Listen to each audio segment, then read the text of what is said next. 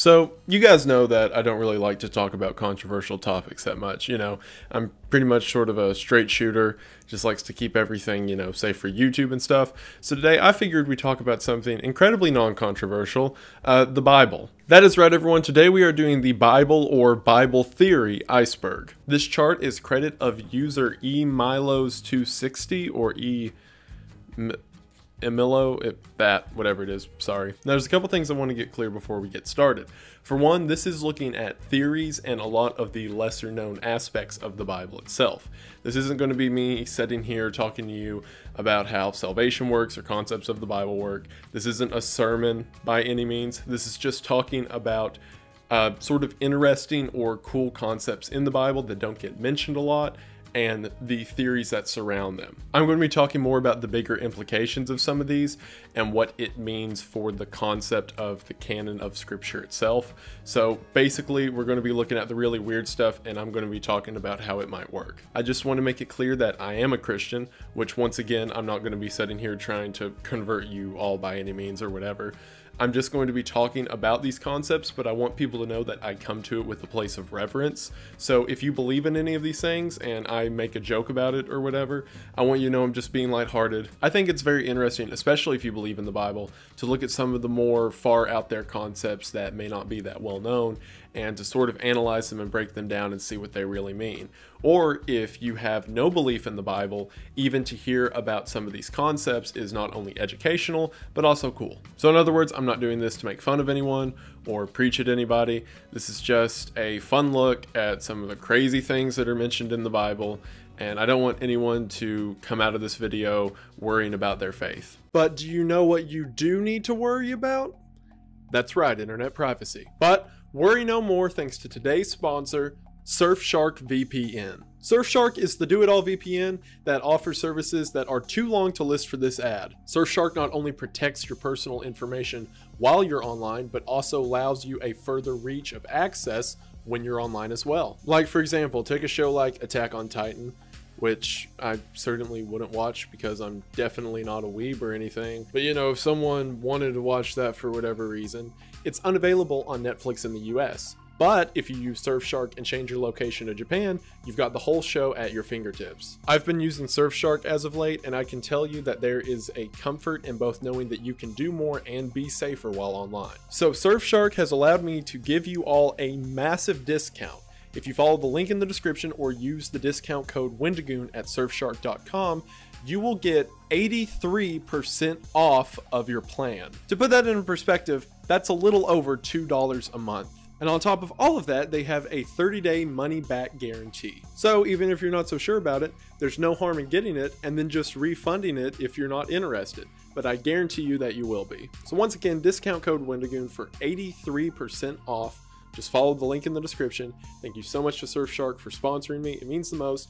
Thank you all for watching, and we are back to the video. Without further ado, we are going to go ahead and get into it, but as always, Thank you for watching. Tier 1 begins with some relatively basic or understood concepts of the Bible itself, so I'm going to go through the first few pretty quickly. God the Father makes up the main or the heavenly part of the Trinity of the Godhead. In the Bible, God is often referred to as the Trinity, or in other parts, it is one God divided into three separate parts. There's God the Father, God the Son, and God the Holy Spirit. God the Father is traditionally believed as the God or the one that reigns at the top of heaven and everything else works under him. So, whenever someone is referring to God, even though the Trinity is often described as one person but also three, which we'll talk about in a bit, they are referring to God the Father. God the Spirit is often attributed as working amongst men if unseen and causing things like miracles and divine appointments and sort of God in the details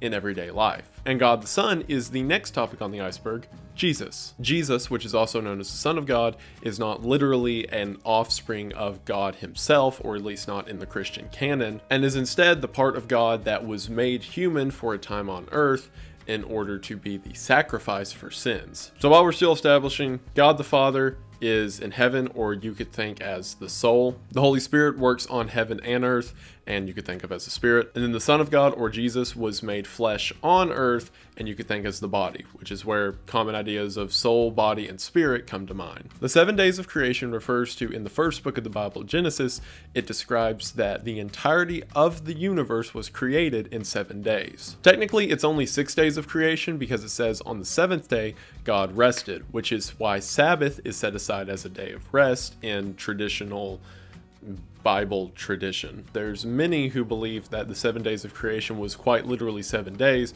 and those who believe it's more of a metaphor for seven years or 7,000 years or something like that. The Nativity is what is referred to as the place in which Jesus was born on earth. A lot of people know that Mary was there with her husband Joseph, but a lot of the details around it get murky. For example, yes, while there were shepherds there, as most believe, the three kings were not. As a matter of fact, no one even knows if they're three kings at all. The wise men from the east, as they're referred to in the Bible, brought three gifts of gold, frankincense, and myrrh. However, it's never said how many of the kings there actually were. There could have been two, there could have been 2,000. And they didn't show up until about two years after Jesus was born, so they absolutely were not at the Nativity. The New Testament is the part of the Bible that deals with everything that happened from the birth of Christ onwards. So this is the life of Jesus, it's the crucifixion, it's the resurrection, and it's everything that the apostles did afterwards. A lot of people have that general question of where the Old Testament and New Testament start and end. The Old Testament is from the beginning of creation up until the birth of Jesus. The New Testament is the birth of Jesus on. Mary, the mother of Jesus, was found by God to be the most righteous woman on earth. In the Christian scripture, she was also the only miraculous birth, or in other words, God performed a miracle and a baby simply appeared inside of her. To which she then went to Bethlehem to the Nativity, have Jesus, and the story goes on from there. Angels is a super broad topic that I'm not going to get into this early on the iceberg because we're going to be talking about them a lot in a second. But I want to get it out of the way now. The depiction of angels that originated in like Renaissance France, like you know, the cute little chubby babies with like wings who look all precious and everything. All right, well, in actuality, there's like nine different classifications of angels, and none of them look like that. As a matter of fact, most of them look like this, because there's a reason that every time an angel talks to someone in a Bible, they have to start with be not afraid. All right, we're on to our first good one. Elohim. So in the Old Testament, it is said that there are seven sacred names of God. Because God, as it is, is sort of a fill in word to describe a being that is worshipped or powerful, and not a specific name. To give you an idea of how sacred it was believed to be, along with the other six names, whenever the authors of the Old Testament were writing it, they would stop, go get a new writing device, write it, and then throw that device away so that it could never write another word. What's very interesting about the word Elohim, though, is that it is both plural and singular depending on the usage. Now, several times, especially in the Old Testament, this is in reference to the Trinity, which is the thing I mentioned in the beginning about there technically being three people that make up the one God. However, that is until you're in Exodus chapter 20, which is the Ten Commandments that God gave to Moses. In Exodus chapter 20, it's specifically worded that we'll have no other Elohims before Elohim. So, this implies that there are some form of lesser gods. I'm going to leave it there for now because that topic is going to come back up, but keep that in mind. JHVH, which is also sometimes seen as YHWH, is the reference of the Tetragrammaton. What on earth did I just say, right? Well, the Tetragrammaton is translated to Greek as four letters meaning something. There's a passage in scripture whenever God is talking to Moses through the burning bush, which is a story you may be familiar with. Moses asks the burning bush, who will I tell them sent me after God tells him to go and talk to the people of Egypt? To which God replies, I am that I am. Now that's the English translation. In the original Hebrew text, he says, I am JHVH, or at least those are the letters most closely related to Hebrew. I can't speak Hebrew. I'm, I'm, sorry. This is believed to be the quite literal name of God. Jehovah is often used as the closest pronunciation to this original four letters that we can get. And with the other spelling I mentioned, YHWH is where Yahweh comes from, both Old Testament names referring to God. However, it's believed that this original tetragrammaton, or the I am as it's mentioned, is God's name itself and it is considered by traditional beliefs such as Judaism that it is so sacred it is never to be spoken out loud. I don't even know how to pronounce it since ancient Hebrew has changed so much from modern Hebrew. There are even theories persisting that the specific letters used have been changed over time so that people will not say it without reverence. The 12 apostles were the 12 closest followers of Christ during his ministry on earth. So, according to the canon of Christianity, after Jesus was born on earth, he then lived on earth for 33 years, telling everyone of what he was going to do before his death. During this time, he had 12 very close followers who believed in his teachings and stuck near him. Several of the popular ones, like Paul, Peter, James, Thomas, John, and all of them are well known. But what's normally not that well known is that there are technically 14 or 15 depending on what source you go with. So, for example, Judas was one of the original 12 apostles, although he committed suicide after he betrayed Christ, which Again, sorry, but we'll get to. And it said after his death, Matthias became a member of the now 11 apostles. And then not long after that, Paul became a member, although he didn't stay with him, and he went to be a missionary to a larger group of people, so that's 14. And some sources outside the Bible say there was another one that joined to them, although it can't be verified, so it's like 12 in the beginning and then not 12. The Old Testament, which, as I mentioned earlier, is the beginning of creation until before the birth of Jesus, is very interesting to study because the way that things work at least in the canon of Christianity, are not the same as they were then. See, according to the beliefs of Christianity, in the New Testament, or the age that we live now, we are under faith and grace and all of that. Whereas in the Old Testament, it was the age of law, and things were much more rigid, but not only were they more rigid, they were much more physical. In other words, spirits and magic and sorcery was a very common occurrence because the supernatural was much more evident, which is also the explanation for, if the Bible's to be believed, why it went from demons and miracles happening all the time to not happening all the time. So now the Trinity, which I briefly mentioned earlier about the three members of the Godhead. So the Trinity is an often debated point because honestly, it's hard for people to understand the concept of one person that's also three people. Because in the New Testament, whenever it talks about Jesus being on earth, we see that he is definitely acting as someone apart from God. As a matter of fact, there are several times where Jesus refers to God as his Father and prays in order to try to talk to him and figure out what to do. So that brings up the question if Jesus was brought onto earth in the New Testament, where was he during the Old Testament? There is a belief that the Trinity did not exist until the New Testament, to which God essentially broke himself into three pieces in order to carry out the sacrifice of men, aka Jesus. But even in the Old Testament, there's references to the multiple Godhead. Like I said earlier, the word Elohim is both plural and singular, but when in the Old Testament God said that he was going to create humans and he was going to make them in his image, the specific wording is, let us make man in our image, which again, that is God referring to himself in the plural tense. Because of reasons like this, God is often considered as the three in one. John the Baptist is a New Testament figure that is considered the forerunner of Christ. As a matter of fact, John the Baptist is the cousin of Jesus who went out to people telling them that his cousin, Jesus was going to come to be the sacrifice for sins. Specifically, John the Baptist is the one who coined the phrase Lamb of God when referring to Jesus. Not only that, but he got his name as he was the first to begin baptism. Another not so fun fun fact is the means by which John the Baptist died. So he had John beheaded and then his head placed on a silver platter to put in his throne room, which is where the phrase head on a silver platter comes from. Mary Magdalene is an interesting character.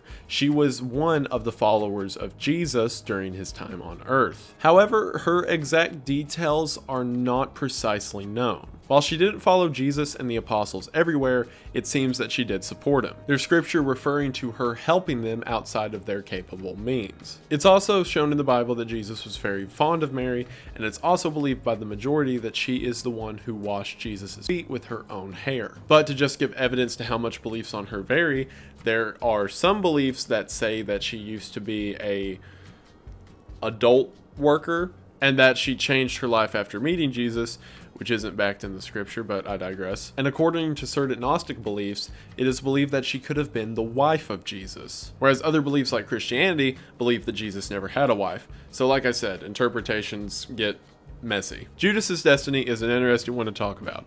So in the Old Testament it is said that while Jesus is on earth that he will be betrayed and killed and that will be the sacrifice for men. Judas, also known as Judas Iscariot, is the one who betrayed Jesus in the New Testament. Specifically, he was one of the 12 apostles and he sold out Jesus to the Roman soldiers who were looking to kill him. This concept leads to a lot of debate on free will itself. The idea being, if it was prophesied that someone would betray Jesus, then did Judas even have a choice in the matter? In the Gospels of the New Testament, which is the account of what Jesus did on earth, it specifically says that the devil entered into Judas. Not only that, but as soon as the devil entered into Judas, Jesus realized it, looked across the table at the Last Supper to Judas, and says, What thou doest, doest quickly. To which Judas then stood up, walked out of the room, and went to go tell the soldiers where Jesus was. So, because Jesus also told them that if they truly believed in God and Christ,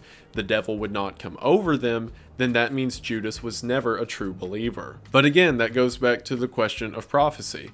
The way a lot of people look at it is perhaps rather than deciding what happens in the future, God gave the older prophets of the Old Testament a realization of what was to come. While some even believe that perhaps Judas knew that by betraying Christ, he was carrying out the prophecy. So, in a real reverse psychology way, he had to betray God in order to follow him. Either way, shortly after Jesus was arrested, Judas felt guilty for what he had done and tried to return the money that he had took as a bribe from the Roman soldiers and then hung himself on a tree in a field in Jerusalem. And on that positive note, we are now on to tier 2. The flood is the event that takes place in Genesis that essentially works as a reset for the whole world. At the time, it says that every single thought of man was evil but the only righteous was Noah and his family, to which Noah built an ark and was saved from the flood itself. The flood also answers several questions,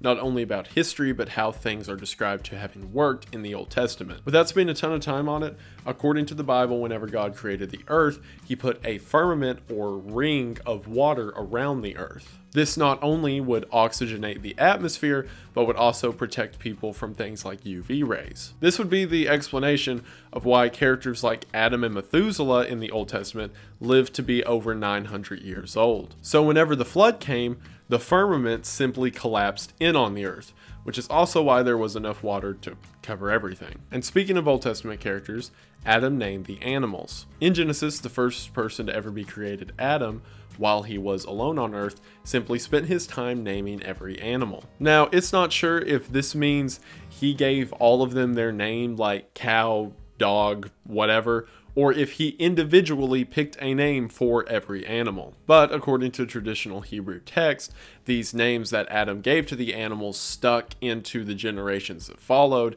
and that's how things got their first name. Oh boy, so now we're on to one of the juicy ones. First, Enoch. So Enoch is briefly mentioned in the Bible as the great grandfather of Noah. Enoch stands out as he is one of the two people in the entire Bible who never died. Instead of dying, him and Elijah were simply brought up into heaven. But aside from a single verse where it says that in the Old Testament, and one part in the New Testament where it mentions him, nothing else really is known about Enoch. However, there are three extra books of the Bible known as 1st, 2nd, and 3rd Enoch. Now, these are actually to, believed to be compilations that were centered around the idea of Enoch rather than actually written by Enoch himself. The general idea behind it is that they are non inspired, Or, in other words, it's believed that God had a perfect plan with putting the Bible together the way that it currently is, so these writings were not part of that plan. But despite being non canon, the book of Enoch is actually mentioned later in the Bible. Near the end of the Bible, in the New Testament,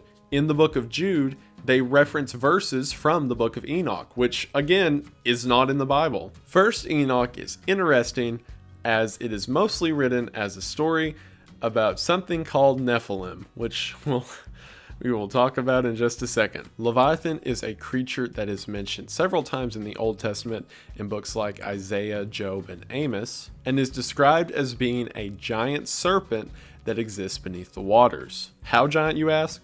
Well, in certain Judaism beliefs, it is said to be about 300 miles long, so that should give you a good idea. Now, in the book of Revelations, which Revelations itself is a prophecy of what happens at the end of times, but that's a whole other animal to get into. It talks about Leviathan returning and being killed by an angel known as Michael. However, in that book of Revelations, it talks about Leviathan as being the vessel of Satan. So let's connect some dots here we have the Leviathan and Satan as the same thing at the end of the Bible. In the middle of the Bible, we have the Leviathan being described as a great serpent.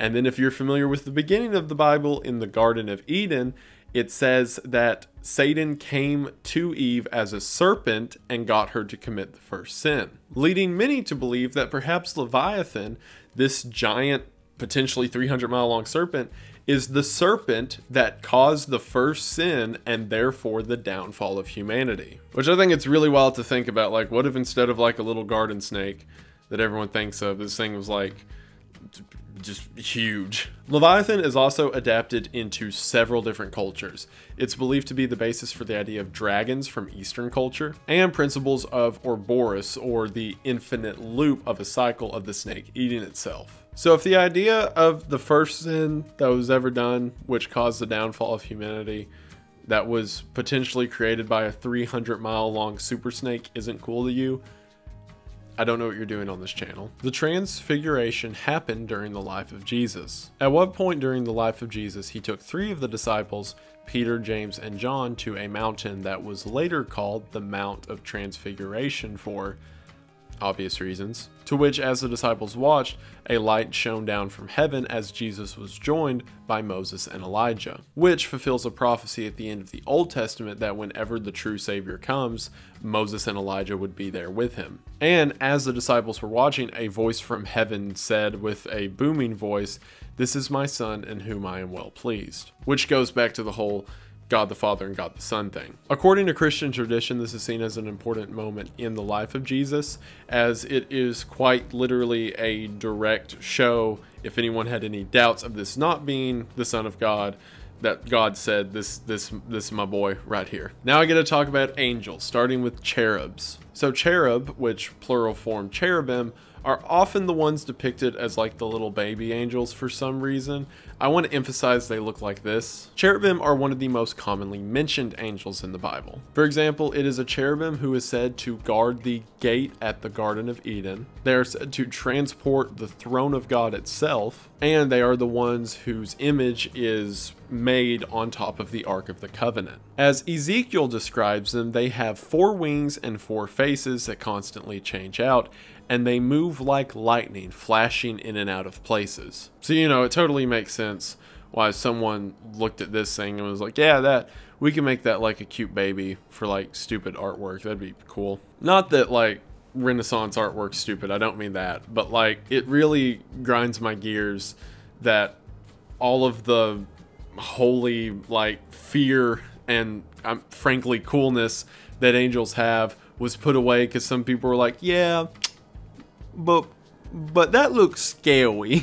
I don't I don't want scary angel. I want little baby angel. That that's what makes me feel safe from the devil. Satan is the prince of this world is a interpretation or sort of something to be extracted from mentions of Satan in the Bible. Satan is specifically described as the prince of the air. This is mentioned in Ephesians, which in the same verses it talks about spiritual wickedness in high places and the evil that exists on earth. Not only that, but whenever Satan tempted Jesus for 40 days, which is a thing that happened. Jesus referred to Satan as the earthly ruler. This basically all goes back to the idea that sin and evil exist on earth, and those who don't repent are allowing themselves to be open to attack essentially from Satan. So, therefore, according to the Christian idea, this is a way of saying that Satan has power over those who are not given to God. Oh boy, the Nephilim.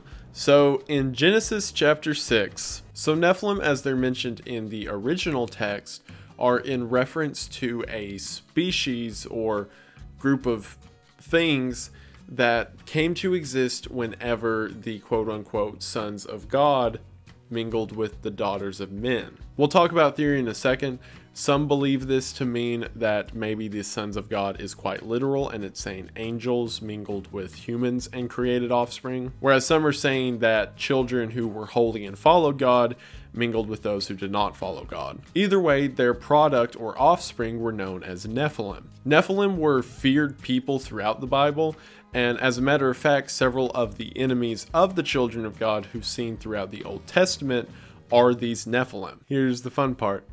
Nephilim is the original Hebrew word. The word in English is giants. That's right, the Nephilim are the original Old Testament giants. Or again, according to the canon of scripture, giants themselves are these interbred children essentially between potentially angels and man. Actually, you know what? Just so I don't sound dumb, I'm going to read it. And don't worry, this isn't going to become a Bible sermon. I just want you to hear it directly as it said. Okay, so this is Genesis 6, verse 4. There were giants in the earth in those days, and also after that, when the sons of God came in unto the daughters of men, and they bare children to them.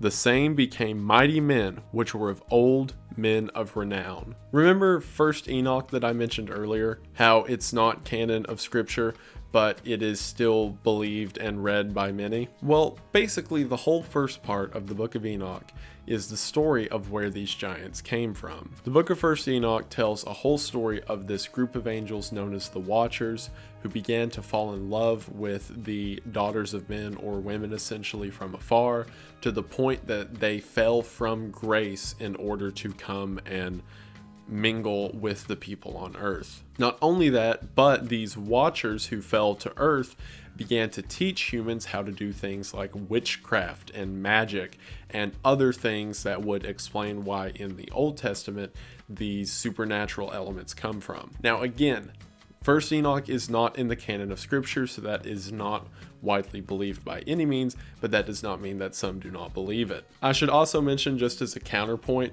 Adam had a righteous child and a non righteous child, the bad one being Cain and the good one being Seth. So several believe that this possibly means that instead of son of God and daughters of men, it is saying the sons of Seth and the daughters of Cain intermingled, and that's where Nephilim came from. Either way, I don't care because it's giants directly mentioned by name, and I love it. God's throne is believed to be in the highest or deepest part of heaven. It's only mentioned a few times throughout the Bible.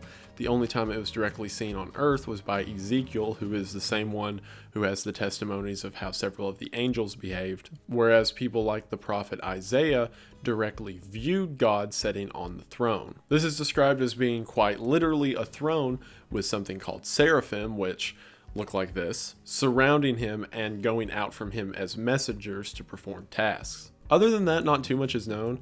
It's said that there is a seat for Christ at the right hand of God, which again points towards the Trinity being more separate beings than always one person. And that constantly surrounding God is this choir of angels who are singing in unspeakable tongues, praise, and holiness. Everyone who viewed the throne including Paul, who described it as quite literally words that cannot be said, all maintain that the glory that they saw was completely unspeakable. Which, I mean, yeah, it's got to be a lot for like anyone to directly view God and all the angels at the same time. Like that.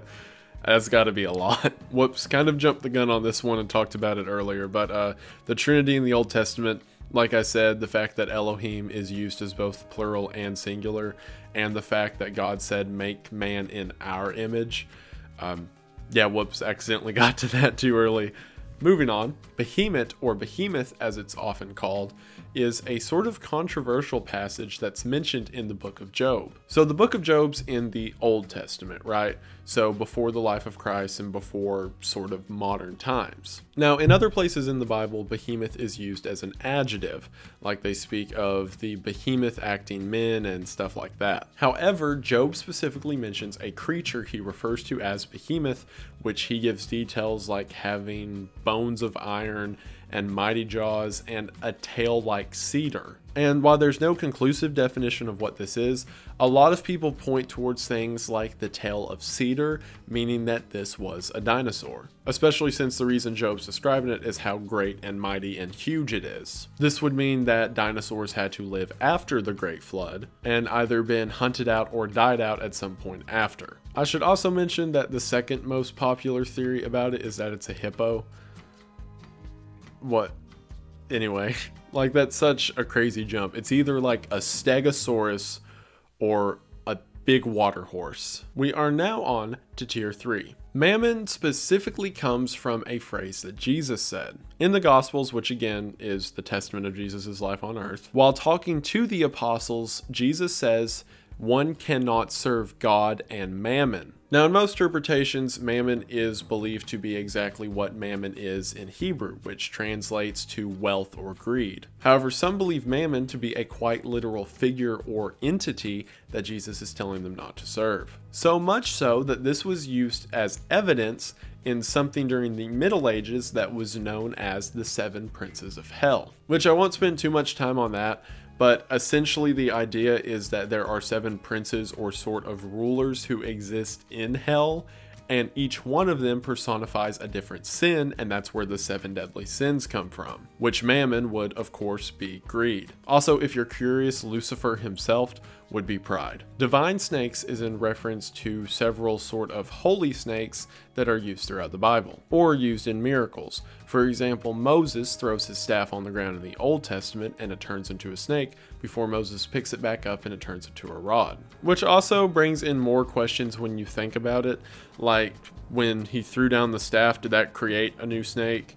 and then we picked it back up did the snake like die or has the staff always been a snake? Or where, where do these where, where is god getting all these snakes? Furthermore serpents specifically hold a sort of crucial place in a lot of biblical stories. Not only the serpent i mentioned earlier and tried to sort of maybe imply that it could have been leviathan or during the time that the children of god were being attacked by fiery serpents and moses put a serpent on a staff or the multiple references to the devil himself being a serpent in the bible. There's a lot of snake imagery, and some believe the form of a snake to be the actual form of the devil. Acts of Peter, like 1st Enoch, which I mentioned earlier, is one of the non canonical parts of Scripture. Or, in other words, it's about tales around Scripture that isn't actually in the Bible. One of the reasons it's not and hasn't been accepted because, similar to 1st Enoch, the credibility of it is questionable. Acts of Peter is believed to have been written by Lucius Charinus, Shurinus, however it's pronounced, who was a companion of John, one of the apostles. However, he himself was not an apostle, so he wasn't directly inspired by God, and yada yada. What's interesting and that a lot of people don't know, things that are said in the Acts of Peter are not said in the Bible, although people think they are. For example, Peter's death is never mentioned in the Bible. However, here in the Acts of Peter, it talks about how Peter was crucified upside down, along with several miracles that the apostles performed after Jesus left. It's very interesting because despite not being in the Bible, a lot of people use information from it without knowing it's not part of the Bible. Like I guarantee you, and I'm saying this as a Christian, you could go up to like 60, 70% of Christians who know the Bible and say, How did Peter die? And they're like, Oh, he was crucified upside down. It's like, okay, where does it say that? Uh um it's it's in there somewhere. Alright, so the watchers are interesting. They are mentioned in the actual Bible in the story of Daniel, whenever Daniel is talking to the king Nebuchadnezzar, and they communicate to each other that they saw watchers come down from heaven in order to speak to the king. So, watcher in this form is being used to describe angels of some sort. Keep in mind the book of Enoch, which I talked about earlier, talks at great length about these watchers and says they're the ones that came down from earth, or at least some of them came down to earth when they fell from grace and created the giants on earth. So many believe that perhaps watchers are the classification of angels that demons originate from. Because, as it's mentioned in the Bible, whenever Lucifer fell from heaven, a third of the angels fell with him and they became the demons, or as they're called, devils on earth. So, this is another one that's open for a lot of debate. Are the Watchers their own classification of angel? Is it just referring to the angels that went bad? Who knows? The Son of Man in the fire with Shadrach, Meshach, and Abednego. Okay, so story time in the Old Testament, remember this is before Christ, which is going to be important in a second. The king I just mentioned, Nebuchadnezzar, was not a very nice dude at all and decided to throw three men, Shadrach, Meshach, and Abednego, who were followers of God, into a furnace to kill them. After he threw them into the fire, they didn't die, and then after looking into the oven, instead of just being Shadrach, Meshach, and Abednego, he said that he could see four people in there with him. And the fourth is as the Son of God. Now, if you're following along, this creates a few issues. For one, this is before the New Testament, or as it's understood when Jesus came to earth. Jesus is understood to be the Son of God. So, this specific phrasing, the fourth looks to be the Son of God, implies that Jesus was able to be present before the New Testament which again, it makes things a little wonky. Two, how on earth did they know what he looked like? He specifically says it looks as the Son of God. And then third, to add another layer of confusion to this whole thing, Nebuchadnezzar immediately pulls the three of them out of the fire and starts to ask for forgiveness because, you know, watching them not die in the fire was pretty good proof that maybe they know what they're talking about. He tells them how great it is that God sent his angel to save them. Okay, so now it is the Son of God and also angel. And I'm not trying to get personal with this. Everything that I've said to this point has been me objectively looking at it. But when it comes to translational stuff like this, it, it's all subjective, so I have to be a little personal. In my personal interpretation, as we talked about earlier, with the potential of giants being quite literally sons of angels, and it refers to the angels as sons of God, then whenever Nebuchadnezzar here was saying it looks to be a son of God, and then immediately says God sent an angel, I think he was meaning angel. Because at this time, before the actual Son of God, aka Jesus, existed, sons of God was used to refer to the angels. So, yeah, that's my best guess at it. The beloved apostle is interesting. So, during the life of Christ, if you'll remember, I said that there were 12 apostles.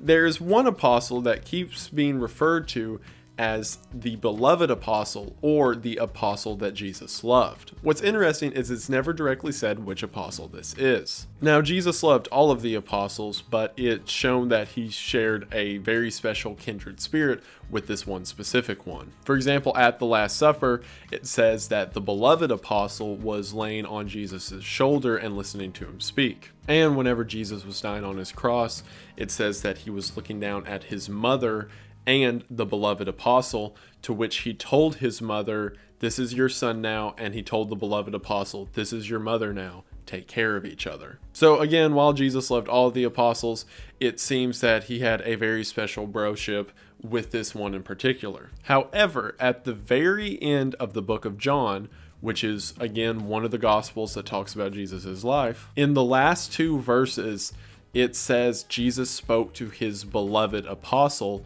which is the apostle currently writing this scripture. Implying at the end of John, it is revealed that John himself is the beloved apostle. That's the most common, and it makes a lot of sense in the whole canon of the gospel. For example, it makes sense that John would be with Jesus through his entire walk, so then Jesus would entrust him to take care of his mother. However, there are some more theories. For example, Lazarus, who is famous as being one of the people that Jesus raised from the dead, it's referred to that Jesus loved both him and his sister, and after Lazarus dies, Lazarus' sister comes to Jesus and said, he who thou lovest is dead. There's some that also say it may have been James, as well as one theory that says the beloved apostle was purposely never named because at the time they were being hunted down by the Roman soldiers, and since this one was never seen with Jesus by any eyewitnesses, they kept his name a secret. However, like I said, and I don't get into opinions again, John saying it was him is a pretty surefire sign that it was like probably him. Come on,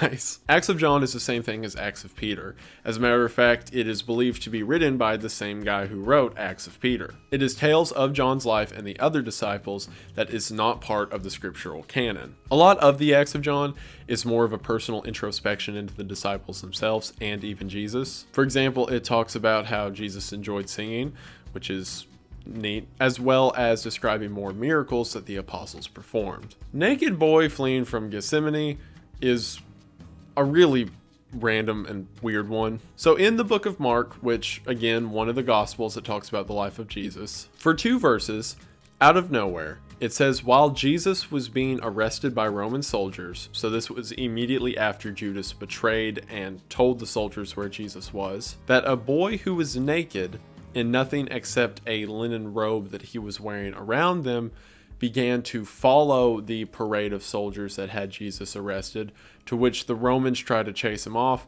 They ripped the linen off of him and he ran into the night naked. And that's the only mention of it. Just, it never gives him a name, it just says the young boy.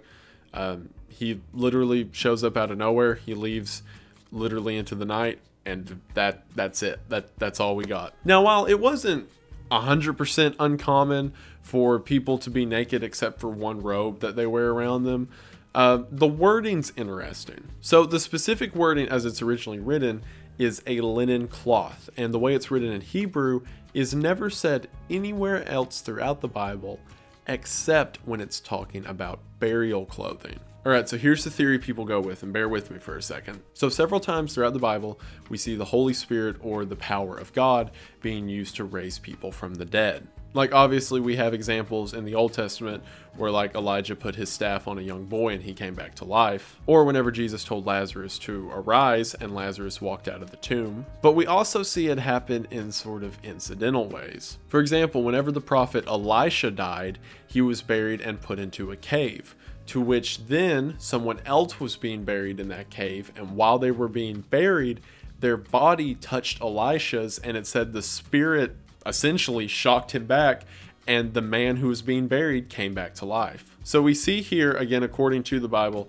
the power of God directly creating miracles of bringing life back. All right, so again, bear with me on this. Whenever the Roman soldiers came to approach Jesus, they asked Jesus, Who are you? And Jesus said, I am. If you'll remember back in Tier 1, the original name of God, which is to never be spoken, is believed to mean I am, which is why the English translation is I am that I am. It said that in the garden, whenever Jesus replied with this I am, there was a rumbling and a sort of shockwave that went out. Because, again, going off that theory I mentioned earlier, he said the actual name of God, which is powerful and not to be spoken. And the Garden of Gethsemane is located immediately next to a graveyard. So, off of that, is it possible that Jesus said the true name of God, which was so powerful that, as it says, it rippled through the men there, and just like with Elisha's body, caused enough spirit to raise someone from the dead? And that's why a naked boy was following Jesus, trying to see who it was that brought him back from his dead in nothing but a burial cloth. I don't know, because like I said, the boy's only mentioned for those two verses and never again. And I know I'm reaching and I don't want to be sacrilegious, but again, we're talking about theory, we're talking about concepts, and I think it's really cool and a little too cool not to. The Apocalypse of Abraham is very similar to the Book of Enoch in that it is a book written around the idea of an Old Testament character that's not part of the Bible. A lot of the Apocalypse of Abraham talks about Abraham's early life and how he helped his father make false idols of lesser gods. Not only that, but it says that whenever it comes time for Abraham to learn what his destiny is as the follower of God, that God shows him everything. By everything, I mean from creation through all of time to where he sees God himself, and then he sees how time's going to end which is why the book's called The Apocalypse of Abraham because a lot of the focus on it is how the world ends. And again, while not a part of the accepted Bible, which people believe, the story is very interesting. For example, Abraham travels with the agent Yahoel, which I hope I'm pronouncing that right, and to which Yahweh does battle with the demon Azazel. And this would also be one of the first mentions of Christ specifically, as God says that there will be a man to come and make a remediation for sins. Which, looking at it on a timeline, the idea that this could, and again, this isn't part of like true scripture, so nothing definite, uh, or at least nothing definite in the Christian context. But the idea that Christ could have been mentioned that far back is really something. Unknown miracles reverse to the last verse in the book of John. This is said immediately after the part I talked about earlier, where John says that he is the beloved. To which he then continues. Actually, you know what? Just like I did for the other one, I'll just read it. In the last verse of John, it says, And there are also many other things which Jesus did, the which, if they should be written every one, I suppose that even the world itself could not contain the books that should be written. In other words, John is saying here that Jesus did so much while on earth that the world could not contain the books of everything that happened. This implies more miracles, this implies more teachings, this applies more doctrine, which all implies that what we get out of the Gospels or the four books that talk about the life of Christ are just a fraction of everything Christ did while on earth, which also explains away a lot of the historical inaccuracies, as some say, of the Bible. For example, in the Bible, it talks about a lot of locations that Jesus visited and what he did, but then some will point to a location in which Jesus was seen and taught but it's not mentioned in the Bible, so people consider that an inaccuracy.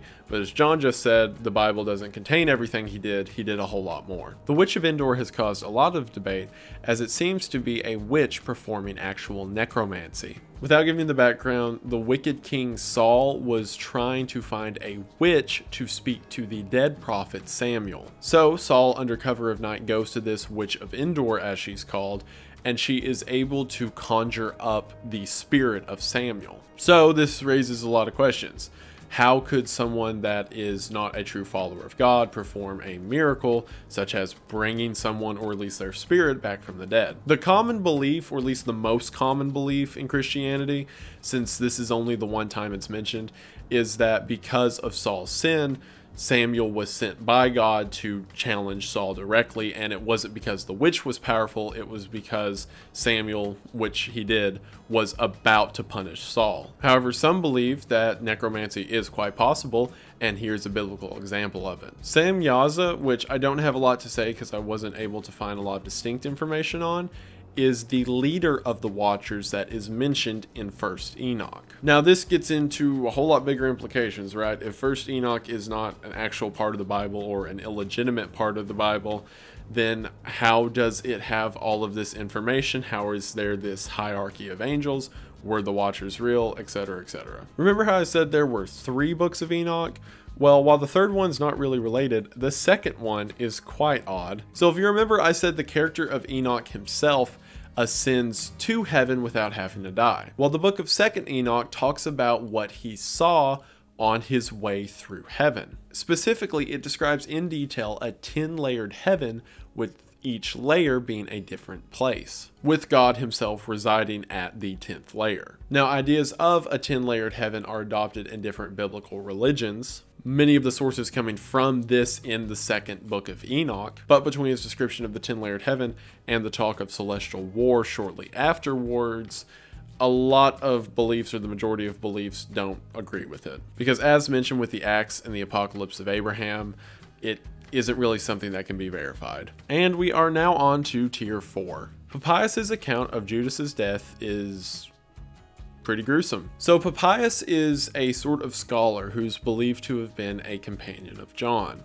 I guess John just got along with everybody, must have been a real cool guy. According to history, what Papias would do is he would talk to people who were closely associated or near Jesus, as he himself never was, and figure out stories around scripture itself. Now, his source can't be known, again, this was in year like 80, but according to what he wrote down, Judas did not simply find a tree and hang himself. What instead happened, and bear with me, was he tried to hang himself, to which the rope broke and he fell and essentially exploded.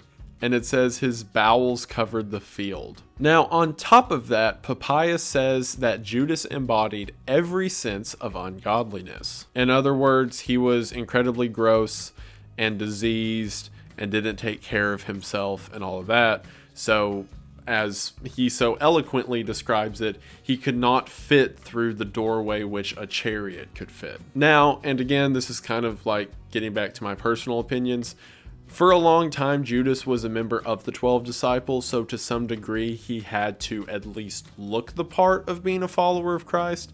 And I don't think a lot of people that weren't kings got by on being that rotund in these days. Because you got to remember, the disciples were walking with Jesus like a marathon's worth of distance to get from one town to another. So it's in my opinion that this particular account, as well as his description of Judas, just comes from the fact that people at the time really didn't like Judas because they saw him as the reason that Christ died. So I think a lot of their upsetness came out in calling him stinky and ugly and other not nice things. Different angel types. So I've kind of briefly alluded to it earlier with cherubims and seraphims and all that.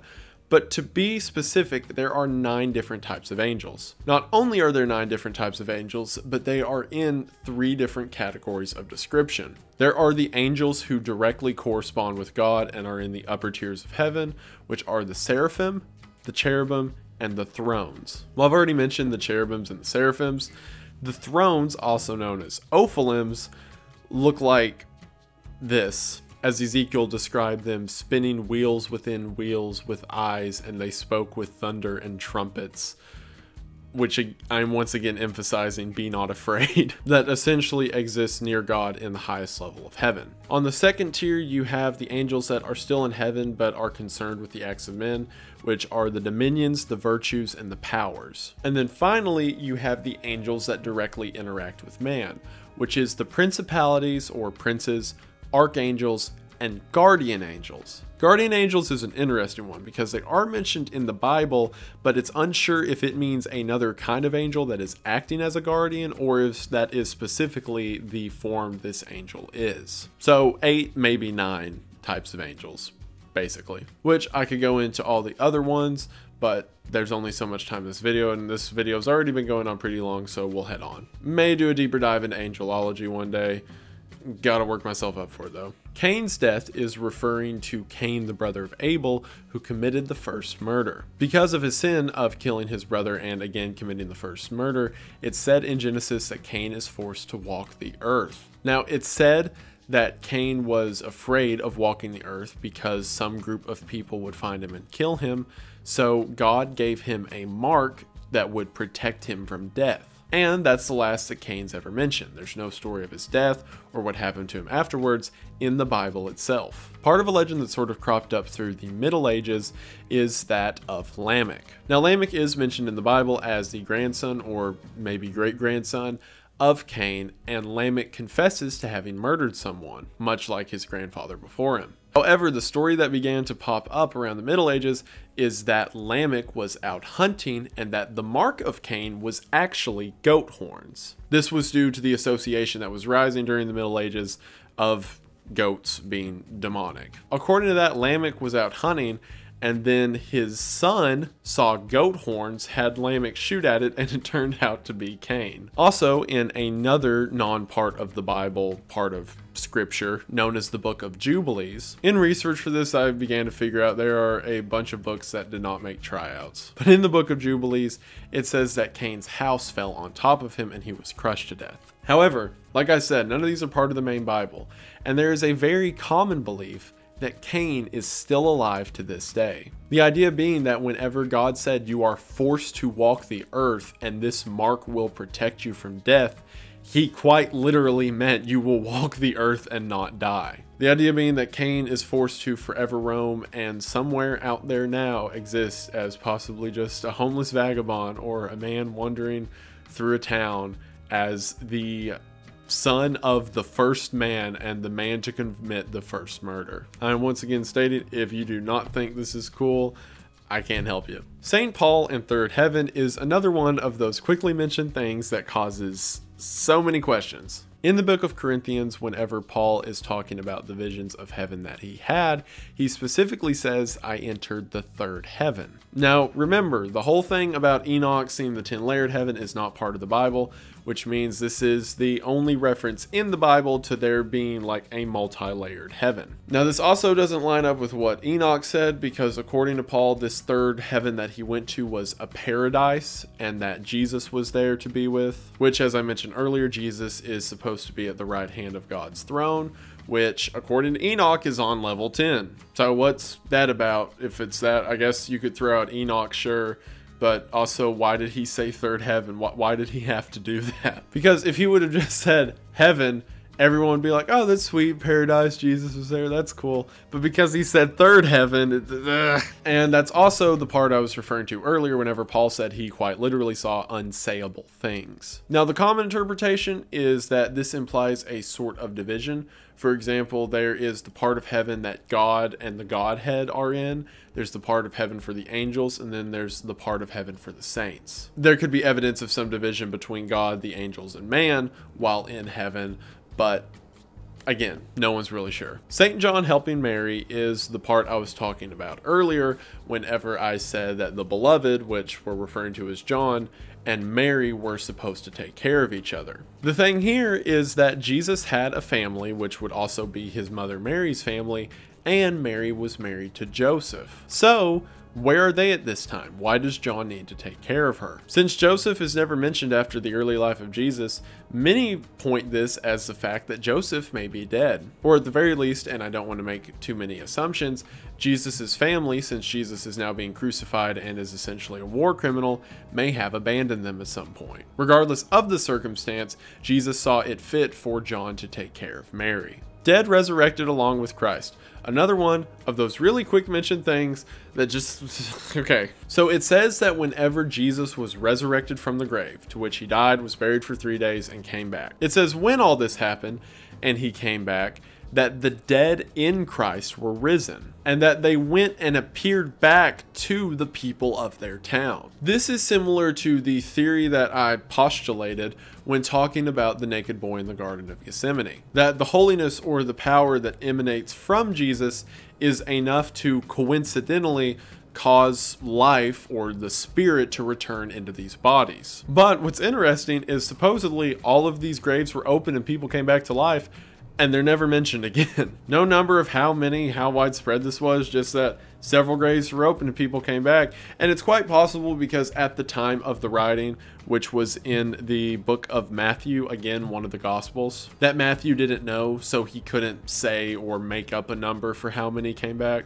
And I guess since nothing said about him, the common belief is that people just came back to life and then they just lived a normal life until they died again. This is more so of what I was talking about earlier, as I said, of that sort of offshoot or residual power of God. Balaam's significance refers to the character in the Old Testament known as Balaam. Balaam was a sort of prophet for hire who served false gods. As a matter of fact, he wasn't even one of the people of God and was instead their enemy. The story of Balaam goes that the king tried to have Balaam come up with a prophecy that would damage the children of God, but Balaam wasn't able to come up with one and was instead just giving them blessings, which made the king upset. The reason for this is that God was essentially speaking through Balaam. The reason Balaam holds significance is because he was not one of the children of God, but he was a prophet. It is said he was a prophet for other gods, which what does that mean? And just like the witch at Endor,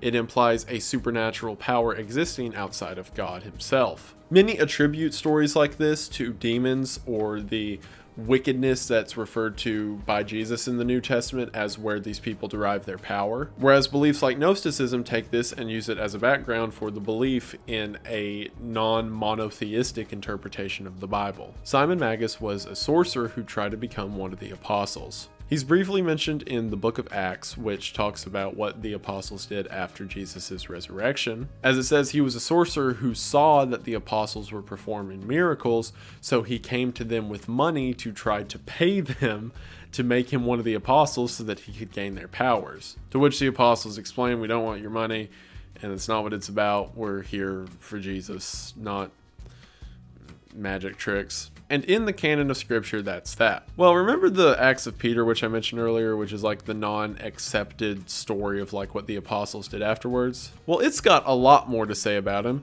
as it says that later Simon challenged Peter to essentially a magic duel, in which Simon began to fly around and was like, haha, your God can't stop me, and then just Peter like essentially zapped lightning at him from God and then everyone got mad at Peter, and that's why they crucify. You can see why the acts of Peter aren't accepted, right? Quite literally, the only mention ever of someone flying. Like, okay, again, already hard to verify as actual proof of disciples. Even harder to verify when you start talking about a side character being the only person to ever fly. the Gospel of Nicodemus is again another one of the non canonical entries in the Bible. However, this one is from the point of view of Nicodemus, who was a man who spoke to Jesus in order to try to figure out what salvation means and what God means. And similar to the Acts of Peter, there are pieces of this that are believed by Christian sects who don't even know that it comes from the Gospel of Nicodemus. For example, there are several denominations who believe that in the three days between Christ's death and resurrection, that Christ went to hell. But he didn't go there as a sinner, he instead went in order to raise souls out of hell. In some interpretations, he went down there and brought up everyone who had ever died but was righteous because Jesus wasn't dead yet, and that's a whole other thing to get into. While some say that he went to hell to save Adam, as Adam, who had committed the first sin, had been cursed down there, but now that there was a payment for Adam's sin, i.e., Jesus, he, Jesus went directly to hell to pull Adam out. Also, earlier, whenever I was talking about Mary and how it's not sure what happened to Joseph or her family, in this Gospel of Nicodemus, it says that Joseph was arrested for being the father of Jesus, who was essentially branded a terrorist. Or, I mean, now we call him terrorist. They called him blasphemer now. The government didn't like him, basically. There's also a really cool addition in the Gospel of Nicodemus called the Acts of Pilate, which seems to be the letter that Pilate, the guy who sentenced Jesus to death, the letter that he wrote to the ruler of Rome saying that they probably messed up killing this guy. After everything we've said, like when the guy was arrested, he like brought people back from the dead by saying his name. And then like after he came back from the dead, even more dead people got up. It's like at some point you just got to take the L. And we are down to the final tier with tier 5. Jesus changed his body after crucifixion. This is in reference to something that isn't really thought about. So whenever Jesus died, he was, you know, deteriorated and not doing well. However, he came back in, as it said, perfect body. Not only that, but he was able to perform supernatural tasks, such as appearing and disappearing to people and walking through walls, as he did with the apostles. Not only that, but after he comes back, there's no reference of him eating, drinking, or sleeping. This asks a lot of questions about what happens to us after we die, or at least in the Christian context, as it's believed we're given a new body. Perhaps it means a new perfect body that looks like us but isn't cursed with things like, you know, dying. Christ's family is in reference to the physical family that Christ had while on earth. So we know about his parents, Mary and Joseph, but he also had three brothers and several sisters. What's interesting and may not be expected is that it's mentioned several times that his family didn't really understand him. While Mary knew he was special as he was conceived miraculously, it says she loved her children the same. Despite this, there are several times when Jesus was young, and remember Jesus, according to biblical canon, was a perfect person, in which his family kept trying to make him stop doing whatever he was doing. They would be confused why so many crowds would gather around, and during one of Jesus' first speakings, they were trying to find him, saying that he's going to get himself in trouble. It's so interesting to think that, assuming you believe like in this or believe in the potential of it, that the family of the savior of humanity still didn't really get what he was doing. Biblical stories and other religions refers to the concept of a origin point with a lot of these stories. Like for example, the flood, which I talked about earlier. Nearly every mythology or religion or belief system has a form of the flood in it. This points back to perhaps there was a flood or a flood similar event or at the very least, a story of it that was adapted to every other culture. The same can be said about the Tower of Babel, about the plagues, about the dispersion of men, about angels, demons, gods, all these concepts that are seen across all these different cultures, even Leviathan that I talked about earlier, seem to have some sense of commonality, which makes you wonder one God Lord, but many lesser gods. So, this is the thing that I've kind of been alluding to. So, with examples like, Thou shalt have no other gods before me, or the idea of Balaam serving pagan gods, then what exactly could these lesser gods be? There are several different theories around this, some of them quite literally saying maybe, yes, there are lesser gods to some degree, whereas others say perhaps these other gods that are being served are the devil and his minions. Whereas I'm going to interject my own theory because I think it's the coolest, and that's the concept of the God of the Gaps. So, the God of the Gaps is sort of a theory in this philosophical practice that there are these gods that exist in the gaps of human understanding. For example, 200 years ago, we had no idea what lightning was. If someone told you that it was God pointing his finger from heaven to shoot at people with electricity, that would make about as much sense as anything. So because we didn't yet understand how lightning works, to us that might as well been a god, or in other words, since it was a gap in our understanding, we attributed it as a supernatural thing. Okay, 500 years ago, that was the same situation with the sun and the moon and the stars. So these lesser gods or things of worship could just be those god of the gaps. There were people who worshiped the sun, there were people at the time who worshipped lightning, there were people who worshipped rain, and all these other phenomena that going off the canon of scripture would just be natural occurrences created by God. So to worship them would be to worship a lesser God. That was my philosophy of the day, and that was the best I can do. I hope it wasn't awful. Jesus defeated other gods during the ascension. So after Jesus ascended into heaven, or more specifically, as he was ascending into heaven, this is a theory that he literally had to fight his way there. This is going back to the idea of there being lesser gods, which I should mention I didn't want to take away from everything I just said. All of that was my theory. There are several people who believe that there are lesser gods, and I'm not saying my belief system is any more legitimate than theirs. But this concept is that as he was ascending, and there was that still window of time that he was on earth, that the evil demons fought him, or that Satan himself fought him on the way into heaven. While there's no backing for this in scripture, it became an oral tradition that was passed down that God had to slay demons, in other words, in order to rise to the right hand of the throne. And then finally, animals' souls judging humans. So, remember how earlier I talked that around the throne of God there was the seraphim, or the several winged angels? Well, also mentioned to be around God were oxen and birds and beasts and several different animals. So, the idea behind it is since God is sitting on the throne, and from the throne he judges if someone is saved or not, again, this is all according to the canon of Christianity, then maybe these things around the throne are part of it. And on top of that, maybe animals being a true neutral or a middle ground when it comes to judgment, exist as the mediators to judge humanity. Or, in other words, animals are neither good nor evil, they are simply instinctual and natural, so they work as the perfect litmus test of sorts for people being judged. So, according to this belief, be nice to animals you'll literally go to hell for it. And that is it of the Bible theory iceberg. Um, thank you all so much for watching. if you still are, I know this is like a really long video. Um, I've, I've been up quite literally like all night, um, like researching and then recording, and then I'm gonna have to get up and edit. Well, I say have to. I love doing this. Uh, this is so fun to me. Um, I get to get up and edit, I should say. Um, but if you are still watching, thank you so much. Uh, this is something that I thought would be interesting. I just enjoy topics like this. I think that they're fun, um, not only as a Christian myself, but just to like communicate how crazy some of these ideas are to you all. Um, I, I, think they're wild, and I don't mean cra- I'm tired. I don't mean to be saying that. I don't mean crazy in like a derogatory way. I mean, it's crazy to think about. It's crazy to imagine some of these concepts and how wide stretching there are or what the implications of them could be. And I think they're really fun. So I wanted to get that across to you guys. I hope that you enjoyed it. I hope this wasn't too boring. Uh, thank you for watching. If you still are, it means the most. Um, thank you so much to all my subscribers we are to the moon, and I can't get over it. Uh, you got it's it's amazing that I went from like half a year ago like a thousand, and now I'm at like 280 something. Um, you all have been fantastic. Just thank you.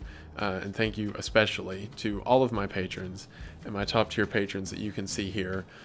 I can't, I talk about all the time, but I can't imagine like supporting me monetarily. Um, it, it just blows my mind and it means the most. So thank you all for that. It really does mean a lot. Um, I've got more content coming out on the way, like I've talked about. It's summer, so I can invest in it. Um, so hopefully you enjoy whatever comes next. I hope that this has been worth your time. And once again, thank you for everything. There will be another video, uh, let's say like start of next week, hopefully. We'll see. Um, I've got to do some moving around this weekend, so after that we should be good to go. But thank you all so much for watching. Uh, it really does mean the most. I hope that you enjoyed, uh, and I will see you in the next one.